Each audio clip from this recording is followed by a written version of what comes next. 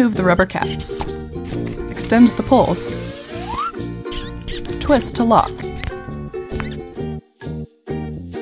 Stake the poles 30 to 40 feet apart. Set them 4 to 6 inches in the ground.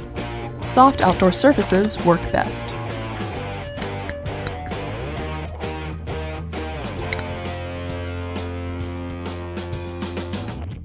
Two to six people can play Yazoo, with the same number on each team.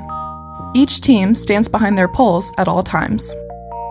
Flip a coin to decide who goes first. Throw the disc at your opponent's pole. Your opponent plays defense and tries to catch both the disc and the can with one hand. If they do, no points are awarded to the offense. A dropped disc scores one point for the offense. A dropped can scores two points for the offense. A dropped can and disc? That's Yazoo. Offense gets three points. The first team to reach 21 points wins the game.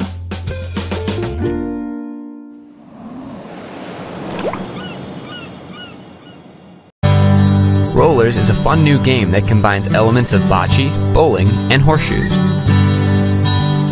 Players roll discs underhand like bowling or bocce and try to place their discs closest to the target, like in horseshoes. Some skill is required to score points, but there is also an element of chance that makes the game even more fun. Rollor's discs have point values on both sides, ranging from 1 to 6, and scoring is awarded by the point value showing when the disc comes to rest. Play Rollors on the lawn or at the beach.